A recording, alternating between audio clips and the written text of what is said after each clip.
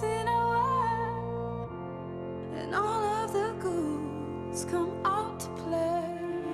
That every demon wants his pound of flesh, but I like to keep some things to myself. I like to keep my issues drawn.